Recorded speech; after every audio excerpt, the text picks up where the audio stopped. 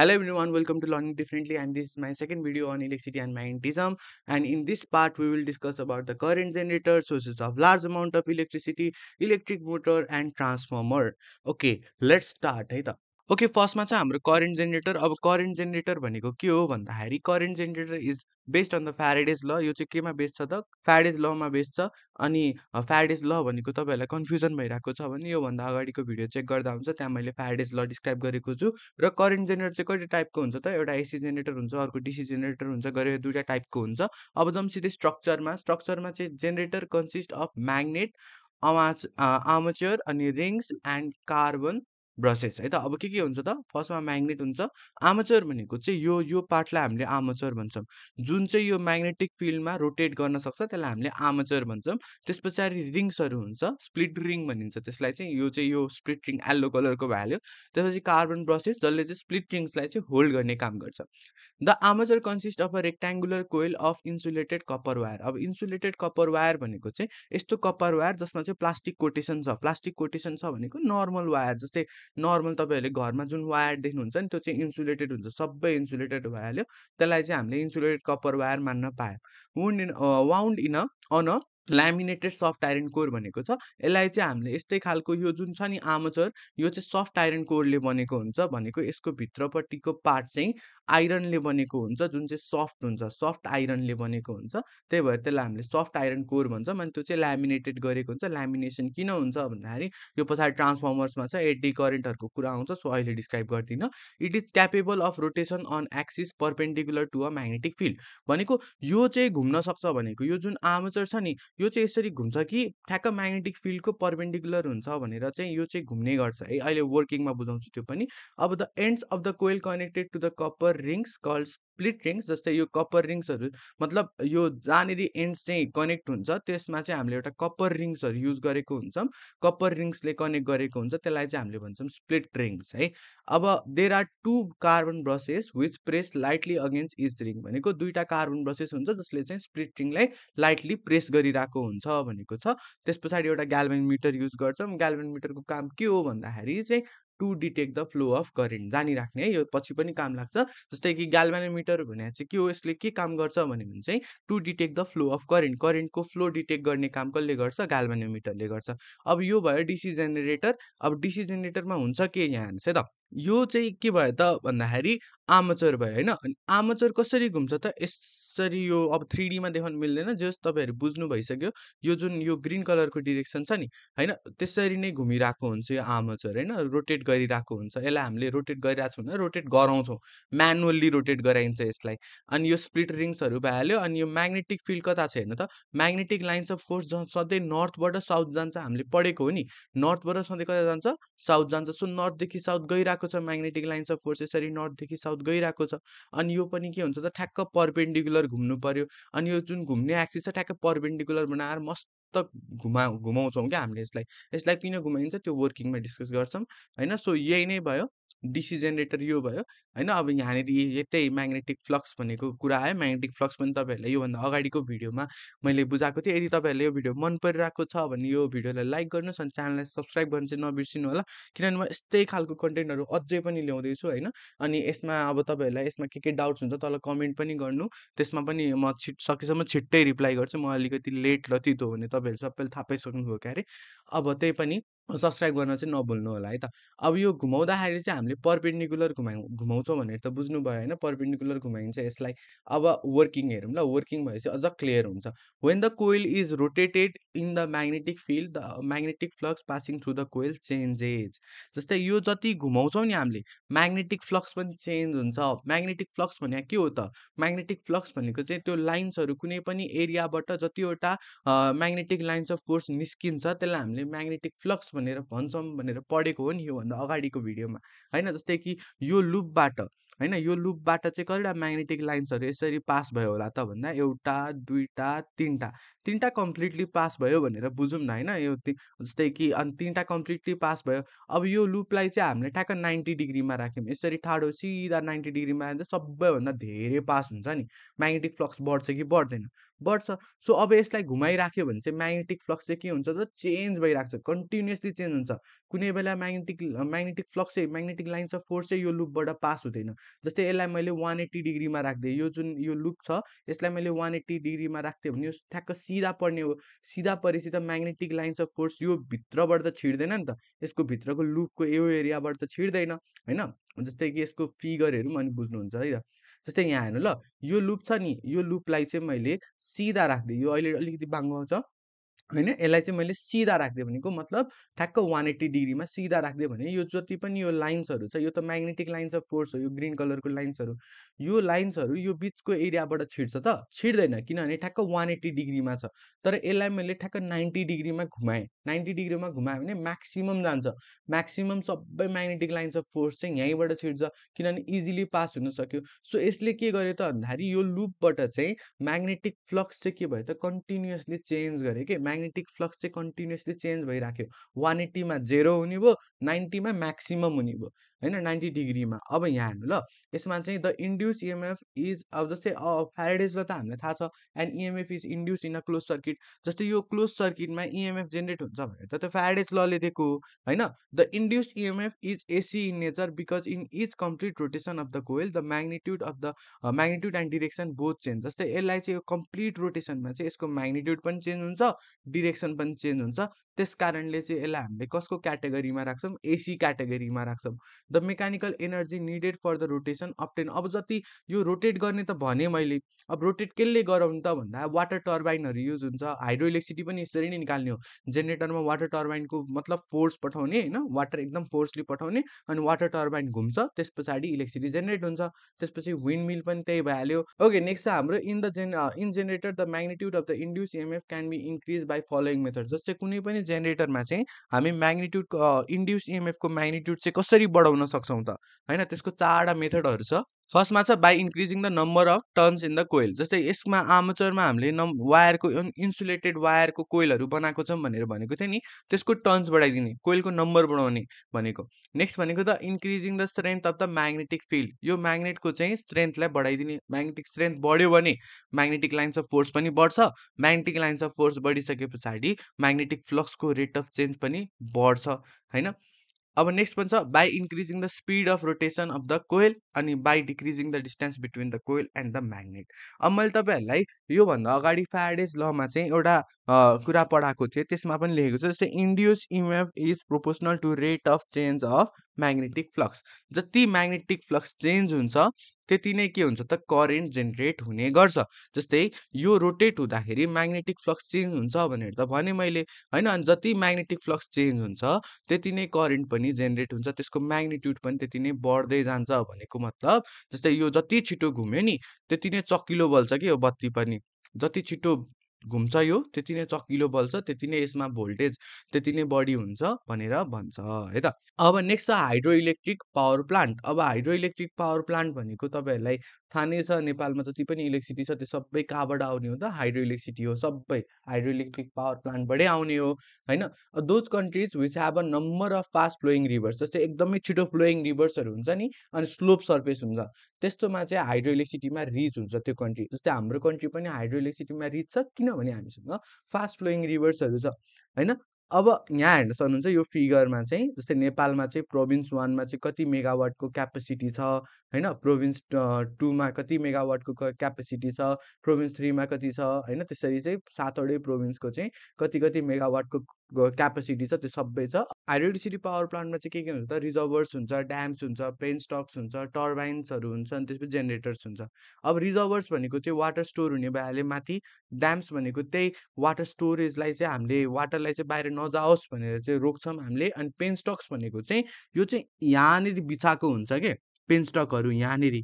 यस्तोमा बिछाएको हुन्छ अनि त्यसले चाहिँ वाटरलाई फोर्सफुल्ली गोलो गोलो हुन्छ यो पुरै सिलिन्ड्रिकल हुन्छ भनौँ न सिलिन्ड्रिकल हुन्छ अनि पुरै वाटरलाई फोर्सली पठाउने काम चाहिँ पेन स्टक्सले गर्छन् अनि are the components of the hydroelectricity त्यसपछि यहाँ टर्बाइन हुन्छ। यो पेन स्टकको फोर्सले गर्दा जति पनि आएको पानी छ होइन यहाँबाट छिर्ने भयो अनि यो टर्बाइनलाई घुमाउँछ। अनि टर्बाइन घुमिसके पछाडि अघिको त्यो जुन करेन्ट जेनेरेटर थियो नि त्यस्तै यहाँबाट मोडल हुन्छ अनि त्यसले गर्दाखेरि त्यो कोइल घुमेको कारणले चाहिँ म्याग्नेटहरू पनि युज गरेर हुन्छ यता र यता यो छ नि यस्तो खालको यु सेपेड यहाँ चाहिँ एउटा म्याग्नेट छ अनि त्यो म्याग्नेट यु सेपेड भएपछि नर्थ पोल यता भयो साउथ पोल यता भयो सजिलो भयो नि त होइन? यु सेपेड म्याग्नेट युज गर्दाखेरि। अनि त्यही भएर यो मस्त अनि यो जेनेरेटर घुमिसके पछाडि मतलब जेनेरेटर रे यो टर्बाइन घुमे पछाडि यहाँनिर चाहिँ इलेक्ट्रिसिटी जेनेरेट हुन्छ। अनि त्यो जति पनि इलेक्ट्रिसिटी जेनेरेट भएको छ जति पनि करेन्ट जेनेरेट भएको छ त्यो ट्रान्सफर्मरमा जान्छ। अनि ट्रान्सफर्मरले हाम्रो अरू त्यो पोलहरूबाट डिफ्रेन्ट ठाउँमा ट्रान्सपोर्ट गर्ने काम गर्छ है त?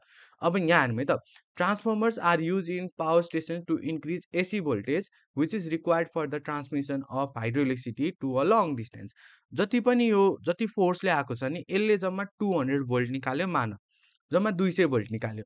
दुई सय भोल्टले त हामीलाई पुग्दैन। दुई सय भोल्टले त नेपालभरि त पुग्दैन नेपाल कुनै सर्टेन एरियाभरि त पुग्दैन होइन? सो एउटा ट्रान्सफर्मर युज गर्छौँ हामीले होइन? अनि यो यहाँ दुईवटा युज गर्छ होइन? एउटा दुईवटा जे भयो एउटा ट्रा एउटा टाइपको डिभाइस युज गर्छौँ त्यसको नाम के हो त? ट्रान्सफर्मर। ट्रान्सफर्मरले चाहिँ के गर्छ त? त्यो जति पनि आएको भोल्टेज छ नि एसी भोल्टेज जति पनि आएको एसी भोल्टेजलाई चाहिँ अब त्यसलाई चाहिँ हाई भोल्टेजमा चेन्ज गरिदिन्छ। दुई सय भोल्टेजको आयो भने त्यसलाई दुई हजारको तिन हजारको तिन हजार भोल्टको त्यत्रो ठुल्ठुलो भोल्टमा चाहिँ भोल्टेजमा चाहिँ चेन्ज गरिदिन्छ। अनि यहाँ यो पोल समेत आउँदाखेरि त अब दुई हजार भोल्टेज एकैचोटि घरमा आयो भने त घरसर पड्किन्छ रहँदैन घर होइन? सो यहाँ छुट्टै एउटा ट्रान्सफर्मर युज हुन्छ जसले चाहिँ त्यो दुई हजार भोल्टेजलाई चाहिँ चेन्ज गर्छ फेरि दुई सय भोल्टतिर। त्यस पछाडि चार सय बिस भोल्ट होइन? कति भोल्टेज चाहिन्छ त्यो अनुसारले दुई सय बिस भोल्टको आइरहेको हुन्छ है? अब नेक्स्ट छ के त भन्दाखेरि here basic principle is to convert kinetic energy into electrical energy अब हाइड्रो इलेक्ट्रिक पावर प्लान्टमा जान्छौँ ट्रान्सफर्मर्सको छुट्टै टपिक छ त्यसमा डिस्कस गरौँ है त? अब यसमा चाहिँ जस्तै के भयो त? काइन्टिक एनर्जीलाई इलेक्ट्रिकल एनर्जीमा कन्भर्ट गऱ्यो भने बेसिक प्रिन्सिपल नि यही हो हाइड्रो इलेक्ट्रिक पावर प्लान्टको है? अब नेक्स्ट छ के त भन्दाखेरि इस्टिमेटेड अब यो चाहिँ के हो त? Total power potential of our country is eighty three thousand megawatt यो हामी सबैलाई थाहा नै छ सानैदेखि सुनिरहेको नम्बर हो। एट्टी थ्री थाउजन्ड मेगावाट चाहिँ हाम्रो कन्ट्रीको चाहिँ क्यापेसिटी हो। त्यति मेगावाटको चाहिँ इलेक्ट्रिसिटी प्रड्युस गर्न सक्छ हाइड्रो इलेक्ट्रिसिटी प्रड्युस गर्न सक्छ भनेर भनेको छ है त अब यो हाइड्रो इलेक्ट्रिक पावर प्लान्ट भयो तपाईँहरूले पछि भिजिट पनि गर्न सक्नुहुन्छ होइन? कतिको सायद भिजिट भिजिट पनि एक्सकर्सन पनि भएको होला यतातिर। सो नेक्स्ट के छ त हाम्रो भन्दाखेरि थर्मल पावर प्लान्ट। अब थर्मल पावर प्लान्ट भनेको के त? Thermal power plant power generation consist of using steam power. अघि के थियो त वाटरको पावर थियो अब के को पावर युज गर्ने? स्टिमको पावर युज गर्ने। By burning oil liquid natural gas coal and other substances to generate electricity by rotating generators. अब यसमा केही हुँदैन। अघि के थियो? वाटर थियो होइन? अब यसमा चाहिँ खासै गाह्रो केही हुँदैन क्या। यसमा चाहिँ के युज गर्छ? वाटरको स्टिम युज गर्छ भनेको भेपर युज गर्छ। अघि वाटरको फ्लो युज गर्यो अब वाटरको स्टिम युज गर्छ। अब if burn coals and petrol petroleum to produce electricity भनेको छ यसले चाहिँ के गर्छ त? कोल र पेट्रोलियम बालेर चाहिँ पानीलाई तताउँछ त्यसको भ्यापर बनाउँछ अनि त्यही भ्यापरको फोर्स नै पठाउने हो जस्तै कि यो एउटा बोइलर भयो मान होइन? अनि यो बोइलरमा पानी राख्यो हामीले यसरी अनि यो पानी चाहिँ के गर्छ त? मस्त यिनीहरूले हिट गर्छन् मस्त पुरै होइन? आगो बालेर यो बोइलर एकदम तताउँछन्। त्यस पछाडि यो जति पनि पानी छ भ्यापरमा चेन्ज हुन थाल्छ। अनि यो भ्यापरमा चेन्ज भइसके पछाडि यो भ्यापर चाहिँ यस्तो फोर्समा पठाउँछन् कि कन्डेन्स गरेर क्या एकदम कन्डेन्स गर्ने। पहिला यो बन्द गर्ने अनि कन् यसलाई चाहिँ एकदमै कन्डेन्स गर्ने भ्यापर एकदमै कन्डेन्स गर्ने बाहिर जानै नदिने। अनि भ्यापर बाहिर नगएपछि एकचोटि भत्त खोल्दा त एकैचोटि सर आउने हो नि त स्टिम त होइन? अनि त्यो सर आएको स्टिमले चाहिँ यो टर्बाइन घुमाइदिन्छ। त्यसपछि यहाँ जेनेरेटर हुन्छ। जेनेरेटर कस्तो हुन्छ? अघि नै डिस्क्राइब गरिसक्यो हामीले करेन्ट जेनेरेटर अनि यो घुमिसके पछाडि यहाँबाट टक्क इलेक्ट्रिसिटी प्रड्युस हुने गर्छ। अब जति पनि यो भ्यापर छ यो भ्यापर त्यताबाट निस्किने बाटो छैन। सो यो चाहिँ सबै तल जान्छ। अनि तल गइसकेपछि यहाँ कन्डेन्सर हुन्छ भनेको यहाँ कुल लिक्विड हुन्छ होइन? अनि यो कुल लिक्विडले फेरि यसलाई चाहिँ के गरिदिन्छ? त कन्डेन्स गरेर लिक्विड बनाउँछ। लिक्विड बनाएर फेरि यहाँ एउटा मोटर युज गरेर मोटर युज गरेर फेरि माथि।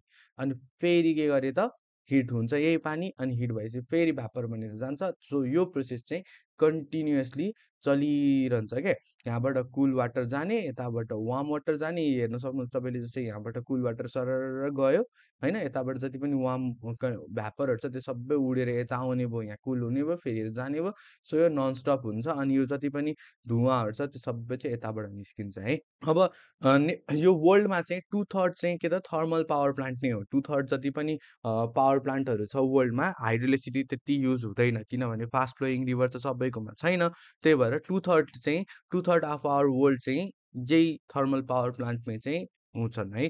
अब अरू भनेको चाहिँ जस्तै न्युक्लियर पावर प्लान्ट पनि हुन्छ। त्यसको बारेमा अरू दिन अरू बेला कुरा गरौँला है।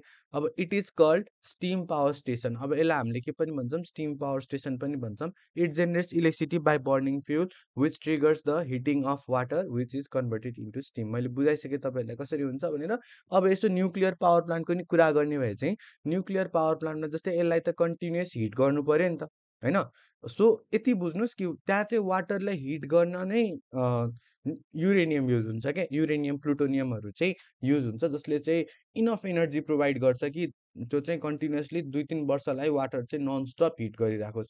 कुनै पनि कोल पेट्रोलियम नै चाहिएन त्यसको केसमा चाहिँ।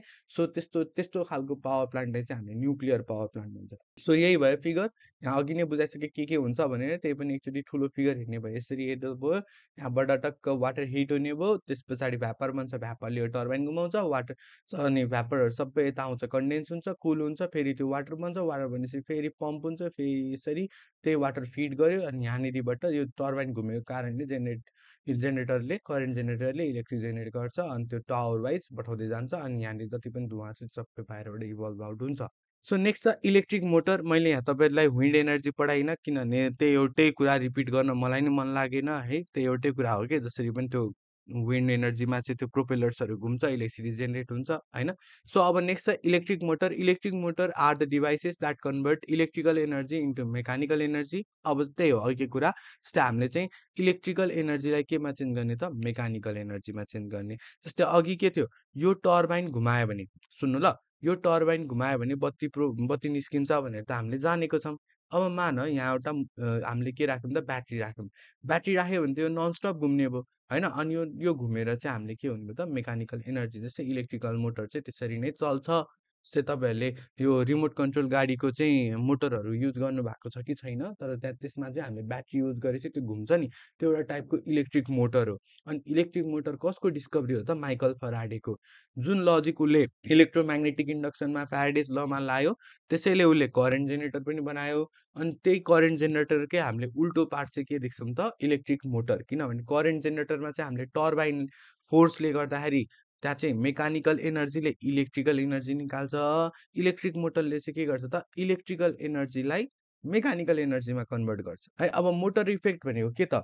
The principle of motor effect states that when a current carrying conductor is place in a magnetic field it experiences a force perpendicular to both direction of the current and direction of the magnetic field अब यो पनि तपाईँहरूले बुझ्नुभयो होला जस्तै motor effect भनेको चाहिँ कुनै पनि एउटा करेन्ट क्यारिङ कन्डक्टर छ। यो एउटा करेन्ट क्यारिङ कन्डक्टर भयो कि भयो नि यदि हामीले ब्याट्री प्रोभाइड गऱ्यौँ भने।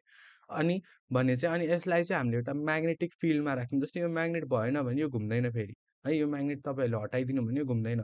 यहाँ म्याग्नेट राख्यौँ भने बल्ल घुम्छ। जस्तै यसको केसमा पनि यहाँ म्याग्नेट छ यो ब्ल्याक कलरको छ नि यिनीहरू म्याग्नेट हो त्यही भएर घुमिरहेको छ। यहाँ म्याग्नेट भएन भने घुम्दैन बुझ्ने ल। अनि यो चाहिँ कसरी घुम्यो नभन्नु फेरि यतापट्टि ब्याट्री कनेक्ट छ यो ब्याट्री कनेक्ट भएर घुम्ने हो। है अब यहाँनिर जुन म्याग्नेट छ यसले एउटा म्याग्नेटिक फोर्स प्रोभाइड गर्छ त्यस कारणले यो के हुने त घुम्ने हो। यो भएन भने घुम्दैन। अब नेक्स्ट के छ त होइन current carrying conductor is kept in अब यो दुइटा भयो यसको चाहिँ स्टेटमेन्ट मैले दुइटा लेखेँ तपाईँले जुन लेखे पनि हुन्छ। यो मन पऱ्यो। यो लेख्नु नभए तलको लेख्दा हुन्छ। होइन current carrying conductor is kept in a magnetic field the current the conductor moves if it is allowed to do so this is call motor effect or principle of motor effect सायद यो सजिलो छ यो लेख्नु होला एक्जाममा है यो लेख्दा पनि हुन्छ या त यो लेख्दा पनि हुन्छ है। ओके नेक्स्ट छ हाम्रो ट्रान्सफर्मर ट्रान्सफर्मर भनेको चाहिँ के हो त भन्दा a transformer is a device that transfers electric energy from one alternating circuit to one or more other circuits. है त? अब यसले चाहिँ के गर्छ त भन्दाखेरि हाम्रो घरमा आउने जुन इलेक्ट्रिसिटी छ पहिला त्यो चाहिँ यहाँ यो ट्रान्सफर्मरमा आउँछ के? यो ट्रान्सफर्मरमा आइसके पछाडि यसले चाहिँ त्यसको भोल्टेज घटाइदिन्छ। किनभने त्यो सुरुमा आउँदा दुई तिन हजार भोल्टको आएको हुन्छ। त्यो दुई तिन हजार भोल्ट एकैचोटि आयो भने त हाम्रो घर त गयो पड्किन्छ। होइन? त्यही भएर चाहिँ त्यो दुई तिन हजार भोल्टलाई चाहिँ दुई सय बिस भोल्ट होइन दुई सय भोल्ट सय भोल्ट कति भोल्टको चाहिन्छ त्यो भोल्टमा चेन्ज गर्ने काम चाहिँ कसले गर्छ त? ट्रान्सफर्मरले गर्छ। त्यो दुई सय दुई हजार भोल्टलाई चाहिँ दुई सय बिस भोल्टमा लिएर आउने काम कसले गर्छ त ट्रान्सफर्मरले गर्छ। त्यस्तो खालको ट्रान्सफर्मरलाई हामीले स्टेप डाउन ट्रान्सफर्मर भन्छौँ अर्कोलाई स्टेप अप ट्रान्सफर्मर भन्छौँ यसको अहिले टाइप्सहरू हो त्यसको बारेमा डिस्कस गरौँ है त। यसले गरेको के हो भन्दाखेरि जस्तै जुन अघि मैले हाइड्रो इलेक्ट्रिक पावर प्लान्टमा ट्रान्सफर्मरको बारेमा बुझाएको थिएँ त्यहाँनिर चाहिँ के भनेको थिएँ त भन्दाखेरि कुनै पनि इलेक्ट्रिसिटी जब जेनेरेटरबाट प्रड्युस हुन्छ त्यस पछाडि त्यो पहिला जान्छ ट्रान्सफर्मरमा। अनि ट्रान्सफर्मरले त्यसको के त पावरलाई बढाइदिन्छ। त्यसको भोल्टेज बढाइदिन्छ। त्यसमा भएको दुई सय भोल्टको आयो भने दुई हजार भोल्टको गरिदिन्छ ट्रान्सफर्मरले। त्यस्तो खालको ट्रान्सफर्मरलाई हामीले स्टेपिङ अप ट्रान्सफर्मर भन्छौँ होइन? स्टेप अप ट्रान्सफर्मर भन्छौँ। अनि जसले चाहिँ हाम्रो यो लोकल ट्रान्सफर्मरहरू चाहिँ के हो त? स्टेप डाउन ट्रान्सफर्मरहरू हो। अनि लोकल ट्रान्सफर्मर यहाँ मात्र हुँदैन अर्को एक ठाउँ पनि हुन्छ जस्तै तपाईँहरूको लोकालिटीतिर खोज्नु खोज्नु होला एउटा चाहिँ लोकल ट्रान्सफर्मर हुन्छ अर्को चाहिँ एउटा सर्टेन एरियामा पुरै ठुल्ठुलो डिभाइसहरू इलेक्ट्रिकल डिभाइसहरू राखेको हुन्छ नि त्यहाँ पनि के हो त त्यहाँ पनि भोल्टेज डाउन हुने काम गर्छ। अब स्ट्रक्चर कस्तो छ त a transformer consist of rectangular soft iron core made up of laminated iron sheets जस्तै ट्रान्स ट्रान्सफर्मरको स्ट्रक्चर चाहिँ यो चाहिँ हो कि मेन ट्रान्सफर्मर चाहिँ यो बट्टा भन्दा पनि यति पार्ट हेरौँ ल। यति पार्टमा चाहिँ के छ त भन्दाखेरि यो जुन कोर छ नि यो कोर यो रेक्ट्याङ्गुलर कोर यो कोर चाहिँ आइरनले बनेको हुन्छ सफ्ट आइरनले बुझ्नुभयो? अनि त्यसलाई चाहिँ लेमिनेसन गरेको हुन्छ। There are two coils that having different members number of turns है त? यतापट्टि यसलाई चाहिँ हामीले प्राइमेरी कोइल भन्यौँ यसलाई चाहिँ हामीले के भन्यौँ त? सेकेन्डरी कोइल भन्यौँ। प्राइमेरी कोइलमा चाहिँ धेरै वायरहरू छ कि छैन? धेरै कोइलहरू छ। सेकेन्डरी कोइलमा चाहिँ थोरै कोइलहरू छ। सो यो चाहिँ के भयो त? स्टेप डाउन ट्रान्सफर्मर भयो। यो एउटा के हो त? स्टेप डाउन ट्रान्सफर्मर हो। यसको बारे मैले बुझाइहाल्छु म। अब वर्किङ मेथड के हो त? When an alternating EMF is uh, created by passing AC in the primary coil, the changing current flow produces the alternating magnetic flux. अब यो तपाईँहरू आफै पढ्नु वर्किङ होइन अब यहाँ हुन्छ के म जस्ट बुझाइदिन्छु सिम्पल जस्तै यो पावर प्लान्ट भयो यसले इलेक्ट्रिसिटी जेनेरेट गर्यो। यसले के गर्यो त? टुवेल्भ किलो भोल्टको चाहिँ इलेक्ट्रिसिटी जेनेरेट गर्यो। अब यहाँ एउटा स्टेप अप ट्रान्सफर्मर युज गर्छौँ हामीले। त्यो स्टेप अप ट्रान्सफर्मरले चाहिँ के गर्छ त? यसको भोल्टेज बढाइदिन्छ। अनि बनायो फोर हन्ड्रेड किलो भोल्ट। बुझ्नुभयो कि भएन? एकदम यसको भोल्टेज चाहिँ के? बाह्र किलो भोल्टबाट चार सय किलो भोल्टको बनाइदिन्छ। अनि त्यस पछाडि अर्को हुन्छ स्टेप डाउन ट्रान्सफर्मर। यो चाहिँ सब स्टेसन भयो। यो चाहिँ ठाउँ ठाउँमा हुन्छ। लोकल लोकल एरियाजमा हुन्छ र यसको चाहिँ स्पेस अलिकति ठुलो हुन्छ। लार्ज स्पेसमा हुन्छ यो चाहिँ। यो चाहिँ के भयो त? स्टेप डाउन ट्रान्सफर्मर भयो। यसले जुन चार सय किलो भोल्ट थियो त्यसलाई कतिमा ल्याइदिन्छ? तेह्र किलो भोल्टमा। अनि त्यो जुन हाम्रो वायरहरू छ वायरहरू छ पोलहरूमा त्यसमा चाहिँ कति हुँदो रहेछ त तेह्र किलो भोल्ट अनि त्यस पछाडि यहाँ अर्को एउटा स्टेप डाउन ट्रान्सफर्मर हुन्छ त्यो जुन चाहिँ पोलतिर राखेको हुन्छ नि त्यो चाहिँ स्टेप डाउन ट्रान्सफर्मर भयो। अनि त्यसले गरेर चाहिँ कति आयो त दुई सय चालिस भोल्टको चाहिँ करेन्ट आयो सिम्पल होइन? सो ट्रान्सफर्मरको काम चाहिँ के हो त यसले चाहिँ दुइटा काम गर्छ कि त करेन्टको भोल्टेज बढाइदिन्छ कि त घटाइदिन्छ। र यसको एप्लिकेसन के भयो त यसले गर्दाखेरि वी आर सेफ होइन? हामी सेफ हुन्छौँ हामीले इलेक्ट्रिसिटी राम्रोसँग चलाउन पायौँ बिकज अफ ट्रान्सफर्मर अब म्याथमेटिकल्ली जस्तै यो चाहिँ के हो त म्याथमेटिकल यसको चाहिँ वर्किङ हो जस्तै number of primary coil equals to number यो चाहिँ यसमा बुझौँ ल त। जस्तै यसमा हेर्नु है स्टेप अप ट्रान्सफर्मर अब स्टेप अप ट्रान्सफर्मरमा चाहिँ यतापट्टि चाहिँ करेन्ट सप्लाई भयो यताबाट करेन्ट सप्लाई भइरहेको छ भने यो प्राइमेरी कोइल यो चाहिँ के भयो त प्राइमेरी कोइल जताबाट करेन्ट सप्लाई हुन्छ त्यसलाई हामीले प्राइमेरी कोइल भन्छ। अनि जताबाट करेन्ट चाहिँ जान्छ जताबाट करेन्ट चाहिँ फ्लो हुँदै फ्लो भएर अर्को ठाउँमा जान्छ यो चाहिँ के भयो त सेकेन्डरी कोइल भयो। यो प्राइमेरी कोइल यो सेकेन्ड्री कोइल र यसमा के छ भने त प्राइमेरी कोइलमा चाहिँ कम वाइन्डिङ छ सेकेन्ड्री कोइलमा चाहिँ धेरै वाइन्डिङ छ। सो यसको मतलब यो के हो त स्टेप अफ ट्रान्सफर्मर किनभने यसले भोल्टेज बढाइदिन्छ।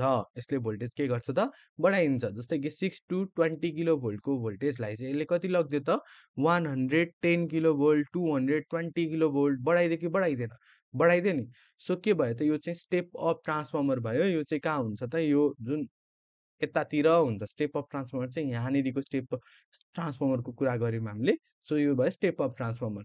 अर्को नेक्स्ट छ स्टेप डाउन ट्रान्सफर्मर। अब स्टेप डाउन ट्रान्सफर्मरमा चाहिँ के हुनु पऱ्यो ठ्याक्कै उल्टो हुनु पऱ्यो प्राइमेरी कोइलमा चाहिँ कम वाइन्डिङ हुनु पऱ्यो होइन? अनि सेकेन्ड्री सरी प्राइमेरी कोइलमा चाहिँ धेरै वाइन्डिङ हुनु पऱ्यो सेकेन्ड्री कोइलमा चाहिँ कम वाइन्डिङ हुनु पऱ्यो अनि प्राइमेरी कोइल चाहिँ कतापट्टि हुन्छ त जताबाट इलेक्ट्रिक करेन्ट सप्लाई हुन्छ त्यतापट्टि चाहिँ प्राइमेरी कोइल हुन्छ अनि जताबाट इलेक्ट्रिक करेन्ट जान्छ त्यतापट्टि सेकेन्ड्री कोइल हुन्छ।